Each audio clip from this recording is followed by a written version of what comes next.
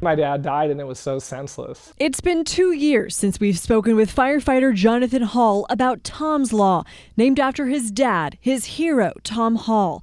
Tom died after a woman reaching for her phone crashed into him when he was on his motorcycle without a helmet. When we have an action that we do that can potentially affect other people, that's when the government needs to step in. Statewide, Jonathan says the texting ban pushback from lawmakers has been about government overreach. It's not overreach when you can get on your cell phone to send a text message and run over my dad. And though Yavapai County's banning of cell phone use while driving is a step, it shouldn't be required for people to know what mile marker it is that changes their duty in their car. A distracted motorist looked down at his phone to see who was calling, and by the time he looked up, I'm being launched off his vehicle at 45 miles an hour.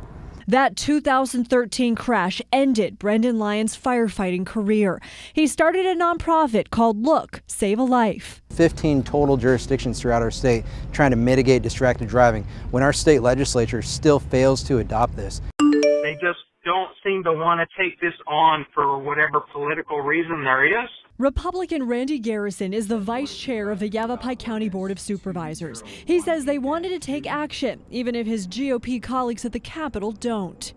Government needs to stay out of your life, needs to quit telling you how to do and what you do and how far they reach into uh, what you do. But at, at the end of the day, this is a serious issue and it's causing a lot of death and destruction.